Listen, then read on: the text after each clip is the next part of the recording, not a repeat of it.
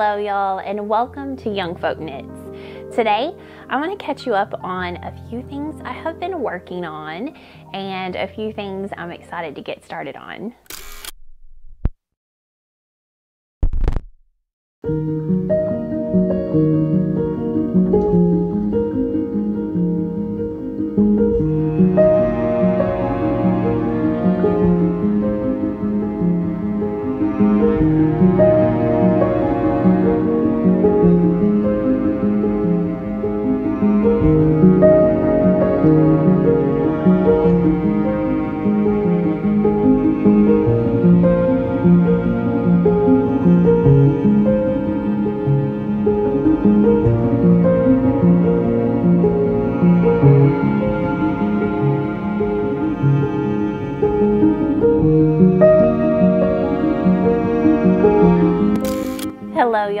Welcome to Young Folk Knits. My name is Casey and on this channel I mainly like to chat all about my love for fiber arts. So mainly knitting, but I do also share some of my sewing, some spinning, sometimes some crochet, sometimes. It hasn't gone very well this year. I really need to finish my crochet project. And occasionally I also share about living on a small farm here in Arkansas where my husband, myself, and our children are beekeepers. And we love gardens and chickens and animals and spending time outdoors here in the foothills of the Ozarks. So if any of that sounds like it might be your cup of tea, then make sure and hit that subscribe button so you won't miss out on any new video content. Today I have a finished object and I also have a few different works in progress that I want to update y'all on, as well as some plans that I have really been ruminating over. It is a snow day here in Arkansas.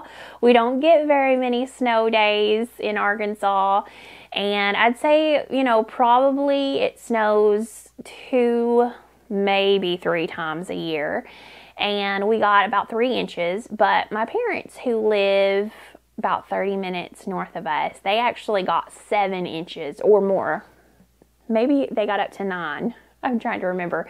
They got a lot more than we did, just 30 miles north of us. But it was enough snow for sledding and, you know, lots of wet, dirty clothes and wet, dirty dogs. So that's always fun. It is absolutely beautiful outside though, and our temperatures are freezing. It has been lows like one degree, three degree Fahrenheit. So I think one degree Fahrenheit is around negative 17 point something degrees Celsius. No matter how you measure it, it's pretty cold. And then we've only had highs in the teens definitely been wool weather. All my knits are like, this is my time to shine. No, I do love it this time of year because I feel like it's the few weeks out of the year that I can really pile on my knits and they feel amazing. So there's like wool sweaters, wool shawls and scarves and hats and gloves and mittens and it's just, it's amazing. Wool socks, some of my favorite socks for whenever I'm outside are actually my smart wool socks. Is that a sin for a knitter to say? I do love my hand knit socks, but I tend to knit a lot of those with nylon in it. And I don't know, there's just something about it. The wool is usually super wash as well, and they are amazing. But when I'm wearing boots and I'm trekking around outside, I really like my smart wool socks. So I've been wearing Smart Wool socks and my Glerups, if that's how you say it, which I got at LL Bean a few years ago. And all of that wool, it's just wool on wool. And that's what I've been living in in the house this week because I can't feel my toes at all. they have just been absolutely freezing, which is very unlike me because I mentioned it before, but I used to just be so hot all the time. I literally never wore socks. Even in the fall, I would just rather wear mules and no socks. But I guess my circulation must be getting bad because I'm freezing. So it's been all the cozy knitwear. It's just been like a knitwear parade the last week, which has been so fun.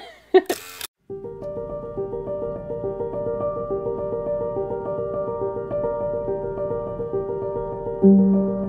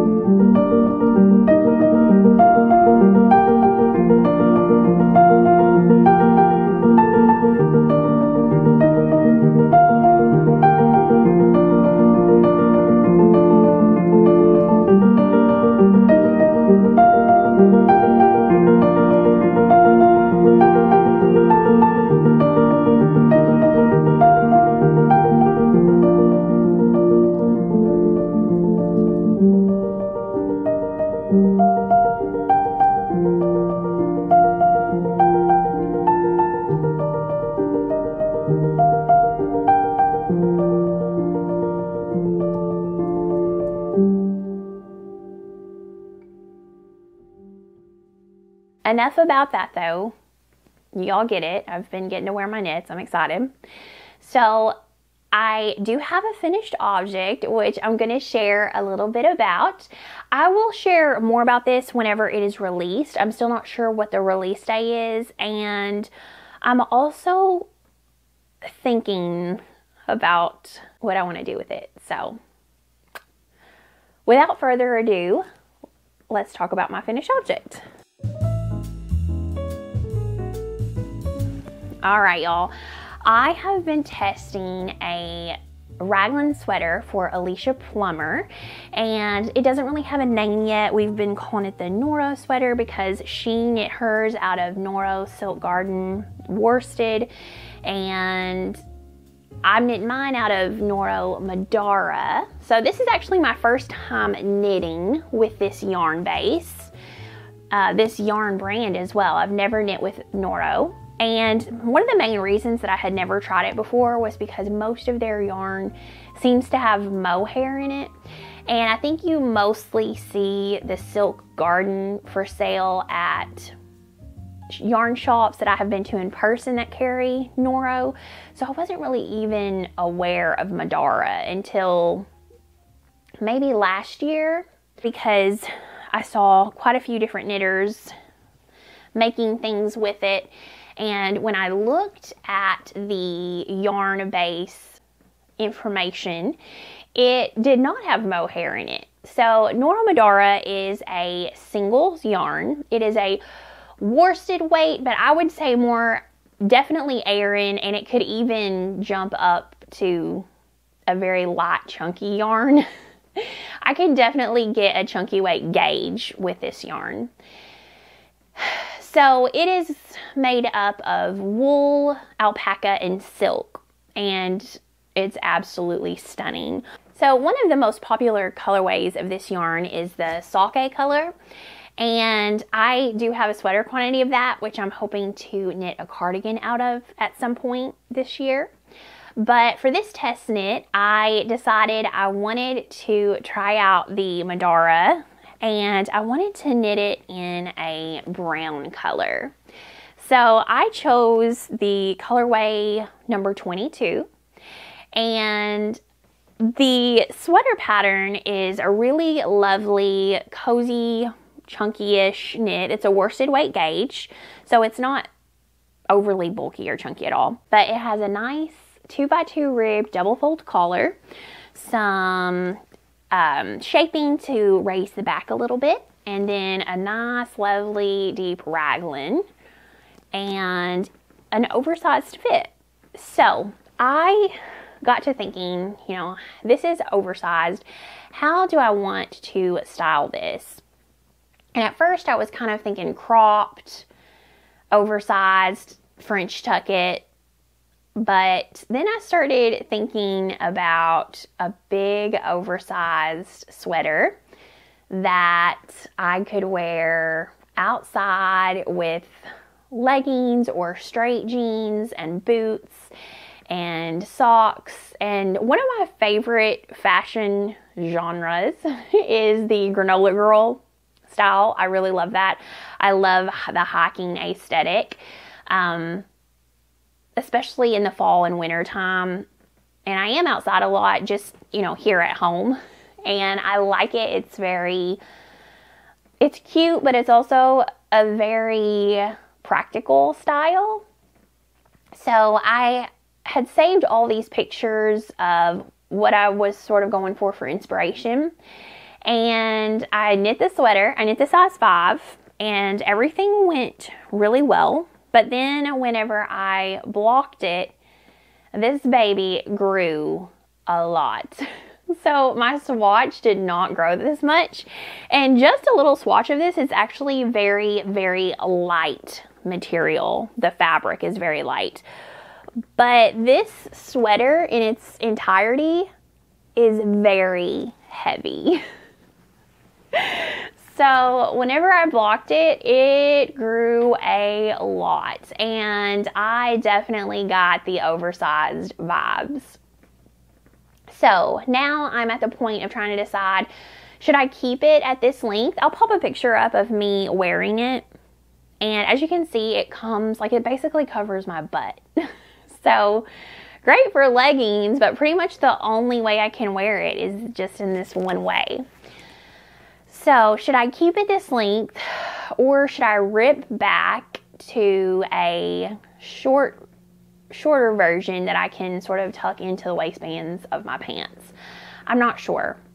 What I might do is leave it the length that it is and wear it this way for a while. And then if I get tired of it, rip it back to a shorter length and reknit the ribbing so that it's more of a cropped style.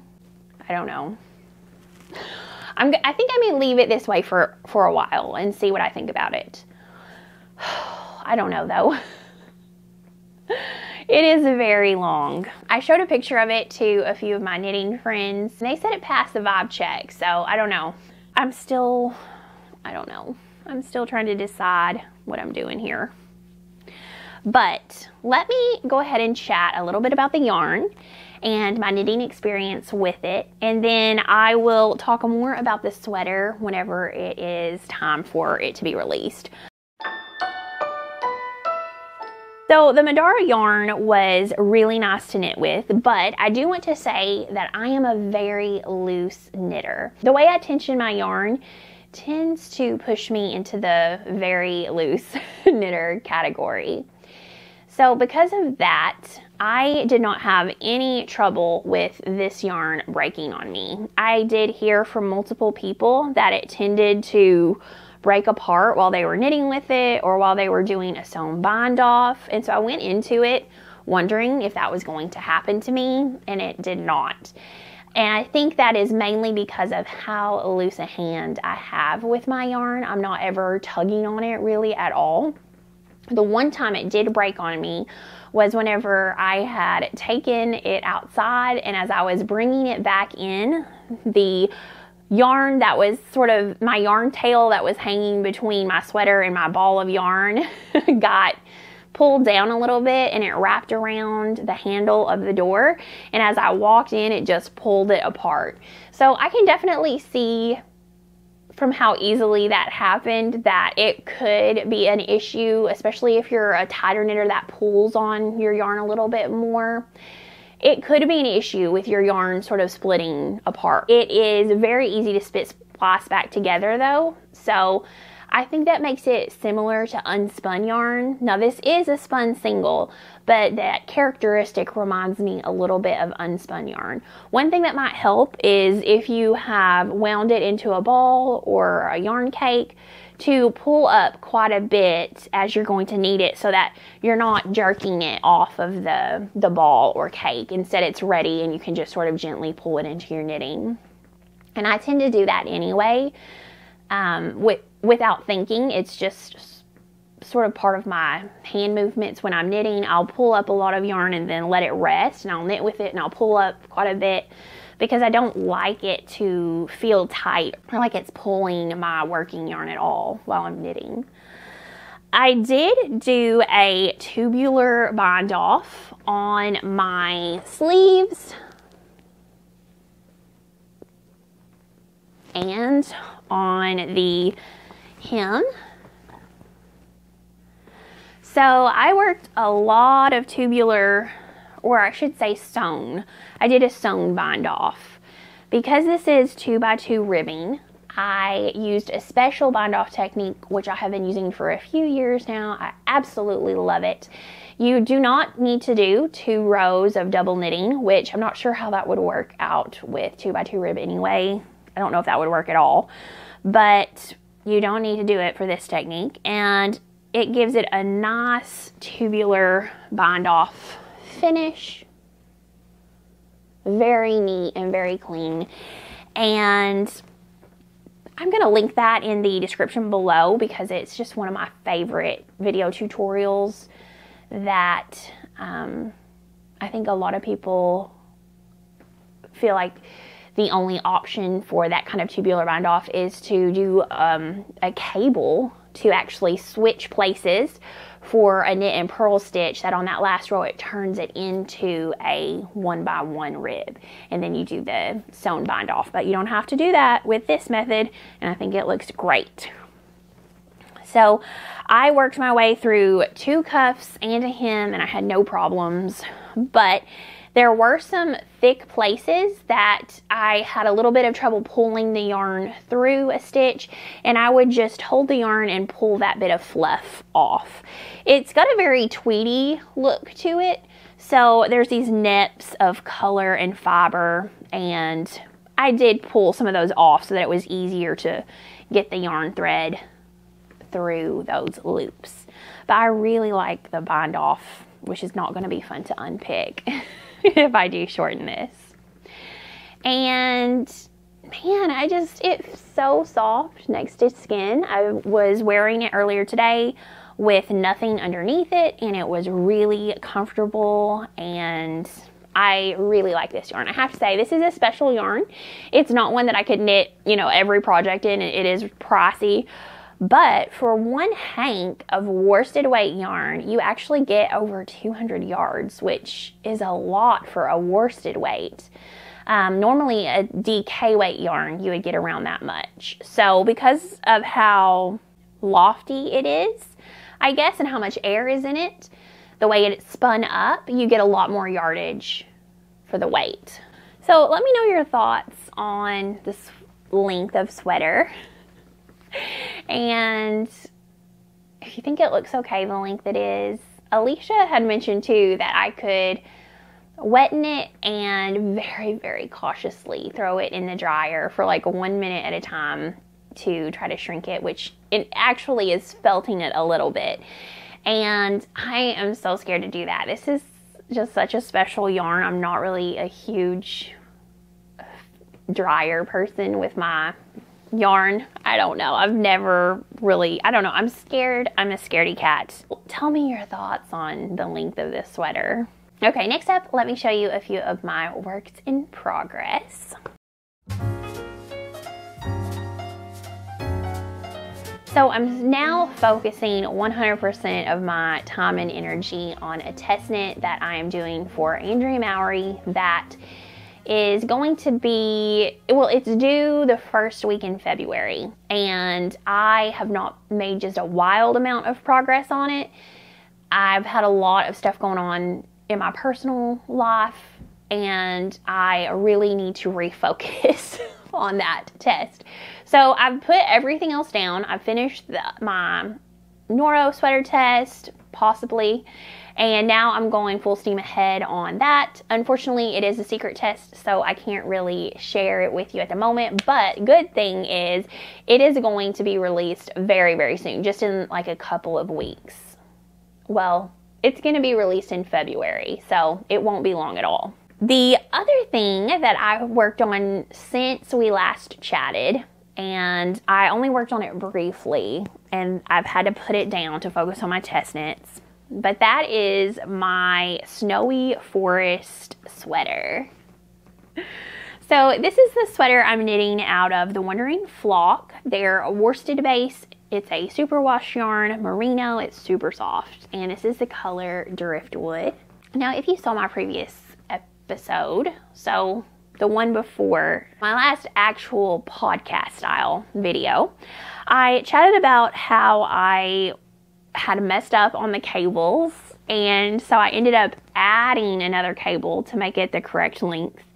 And since then, I did split for sleeves and I'm now in the body.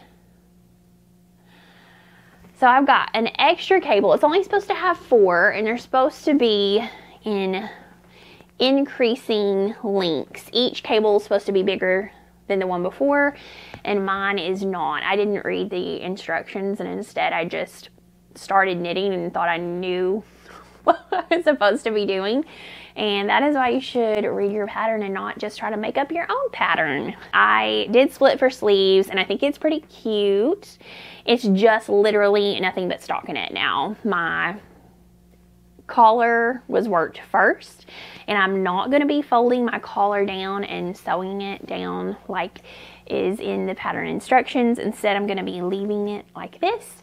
And I also talked about in that video how I added short rows to the ribbing of my sweater because this pattern does not include short rows. So I'm really happy with how it's turning out. I just haven't had time to work on it at all since I split for sleeves. But I think it's going to be fun. It's going to be extremely soft. And it does have a deep yoke length, but I think that's a style choice and I like it. So I know a lot of people don't like that deep yoke length, but it is okay with me. So I'm excited to get that finished up. Really nothing new to share except I did finish that last cable and I've split for sleeves. And that's pretty much where I'm at. The other project that I have been working on, I have to tell y'all, I actually lied to you about. I thought that I only had one repeat of this left before I started the border. And this is my Pressed Flowers shawl, which is a pattern by Amy Christoffers. Well, that was not true it said for more repeats, not for total. So I've still got to do, you know, I did the initial chart and then you have to work work the chart four more times and I've only done it four times total. So I got to do one more chart before I start the border. I absolutely love it. It's so much fun to work on and I wish that I've had more time that I could devote to this because this is part of the I Can Buy Myself Flowers knit along that I am co-hosting with Ashley from Design by So and So. And for this knit along, which runs through the last day of January, you can knit any of Amy Christoffers' pressed flowers patterns.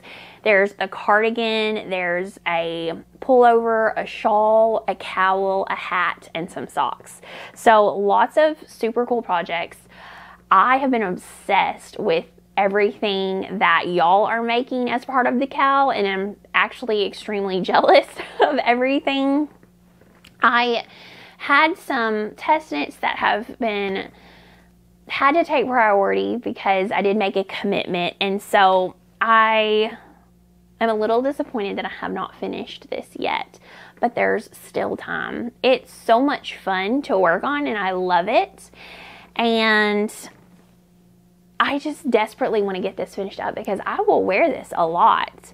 This is a DK weight superwash yarn from Birch Fiber Company, I think. I'll put the descri- I'll put the link in the description below. I did get this off of Etsy. It was a kit. And I think I recently saw that she had some more of these available. There's such a beautiful color. And I love that the green and the flowers, like there's definitely contrast. It's not that there's no contrast, but there's bits of green in the contrast color that make it blend really well. And it's not a crazy high contrast. So it just seems to meld together really well, and I like that a lot.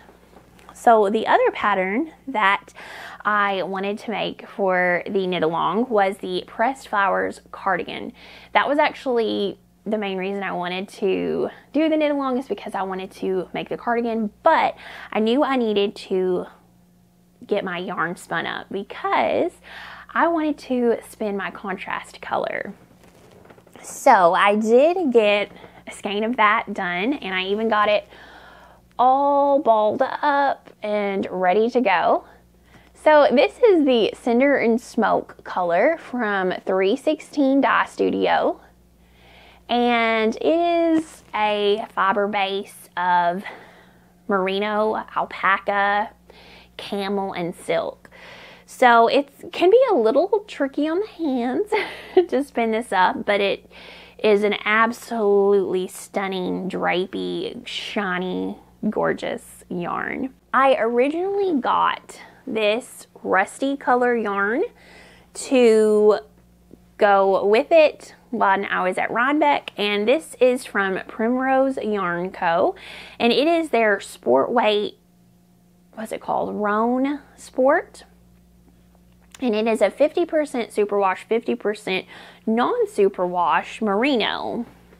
So I had got this colorway, but I also got it in this color, which is on the same base. And I'm just kind of been stuck because I can't decide which to be my main color. Most of you said to go with the red, but some of you did say to go with the brown because my first inclination is that I think I would like this the best. It's very low contrast, but there is still a contrast there for sure. This would be really special too, and I completely agree with you all. My only question is, which would I wear the most? I'm not sure. So I've just sort of been paralyzed and afraid to cast on. So now I do want to share a little bit of some future things that are coming. So I did mention on my knitting plans for 2024, something I really wanted to do was knit Mr. Young Folk Knits a sweater. So I have knit him multiple things like hats and socks when you're knit him some awesome socks for his anniversary, which he never. But I think he really likes sweaters. So that's something I wanted to do for him this year because he is knit worthy even though he doesn't wear the socks very often. He does wear sweaters a lot. So I had a few different options that I was trying to pick between and in the end, he looked at a lot of them and decided on the Porter sweater, which is a design by Megan, who is one of the co-founders of Hudson and West. So it is a pattern available from Hudson and West Co. And it is knit using their forge base in the sample which is a 70% merino and 30% corriedale us merino and us corriedale so you get 235 yards of this worsted weight in a 100 gram skein. So that's actually pretty good. And let me just tell y'all oh my it is so soft so bouncy so squishy so this yarn was kindly gifted to me by Hudson West Co. so that I could make the porter sweater for my husband. And I am so excited. He absolutely loved the pattern and he liked the midnight color. Is that what it's called? Yes, midnight. So it's this really lovely deep navy peacoat blue and I think that this the cables are just going to look absolutely gorgeous in it. So it is an all over cabled sweater everywhere, but he is worth it and I do love knitting cables. The key for me to love knitting cables is to knit them with a springy, bouncy wool yarn. I hate knitting cables a lot of times in socks if it's big cables because I prefer to knit without a cable needle and that requires some give to your yarn. So in a really strong nylon superwash yarn that I use in socks, um, it's hard to cable without a cable needle whenever you have, for instance, a three by three cable or a four by four cable that pretty much has to be done on a cable needle for me. I mean, I you can do it, but it really hurts my hands. They slip and the stitches start falling out because the yarn isn't grippy enough. And so, for a really pleasant cable knitting experience, I love a woolly wool with some spring and some bounce in it, and this is everything. However, it is not in the least bit scratchy or itchy. It is next to skin delicious. I told him I'm going to steal this from him. so I'm going to cast this on hopefully before the next time I chat with y'all. And I can't, I need to finish my test knit first, but I should be able to finish that in the next couple weeks. And then I can really get to knitting on this a lot more. But he is so excited. And I think this yarn is going to be such a pleasure to knit with and to wear. So it's like a win-win on both of those fronts. Now, I wanted to share one more thing in acquisitions, which I am very excited about. Some of you may remember Ellie from Little Fern Fibers. I absolutely used to love watching her podcast. She has some adorable little girls, and so she's been really busy lately and hasn't been able to put out any videos but she is a really great spinner and she just opened up her Etsy shop again to have some of her fiber braids that she hand dyes available again and I am so excited. So she did very kindly send one to me as a gift and I am in love. This is the merino base and it's a roving 25 micron. It's so soft and it's the color Moon Shadows. So look at the purples and the, the beautiful red and corals and pinks and oranges. It's just absolutely lovely. I cannot wait to start spinning this up. So I think that this will be one of the skeins that I will probably use in my traveler shawl. Um, I'm going to spin this up and then I've got a couple other braids that I think will just look so nice in the same project with this. So I will show y'all this as soon as I get it spun up and plied, but I think it's going to be absolutely lovely. Thank you so much, Ellie. And I'm going to put her Etsy shop down in the description so y'all can all check that out. Okay, I am so excited because there are two knit alongs coming up in the next few months that I am going to be a part of that I cannot wait to tell you about. So, the first one I've been hinting about, but now I'm going to get to give you all the details. If y'all have been here for a while, you know I'm a huge fan of woolly wool, but I still like it to be on the soft side too. So, Woolly Knit recently reached out to me and asked if I wanted to be part of a special knit along, and I was so excited. A Woolly Knit, which is known for their British wool and merino wool cones where you can get this awesome amount of yarn for a great price. They are coming out now with DK weight cones, which is amazing. And they are merino, so they are so soft. This is the color Cosecha Gold. And they are 300 gram cones. So the really exciting part is that they are offering it exclusively to all of you lovely subscribers here at Young Folk Knits. And when we were chatting about the knit along, we really wanted to do one that was focused on knitting with natural fibers, woolly wool. So this is gonna be our super fun wool along. that means you can knit, you can crochet, whatever kind of craft that you like to use with wool yarn you are eligible to join along with us. It's going to begin February 5th and it's going to run for a month into March the 4th. And during that time period, I'm going to provide a code that y'all can all get some of this lovely yarn or any of the woolly knit yarn for a discount. And then you can join along with us by posting a picture of your WIP and using the hashtag YK YFK, which is Woolly Knit and YFK. And I think this is just going to be so much fun. During that month, I am going to be really focusing on my heirloom quilt cardigan, which is a pattern by Katrin Seeberger. And I have just been desperate to knit this, but it's sort of been one thing after another that's kind of gotten in the way and now is the time. Woolly Knit very generously shared a few different colors with me.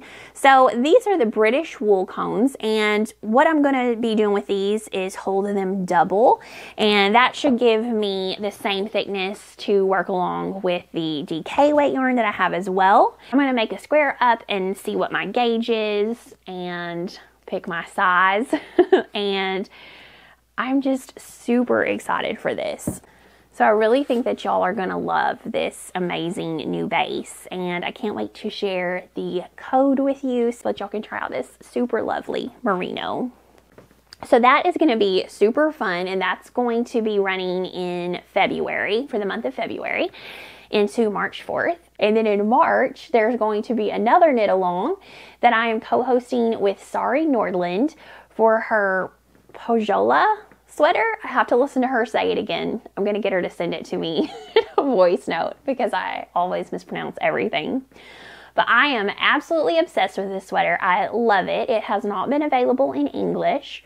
And she just recently, like a month or so ago, released it in the English translation as well. So I'm so excited and she knows how much I love the sweater. And so she asked if I wanted to co host a knit along with her for it.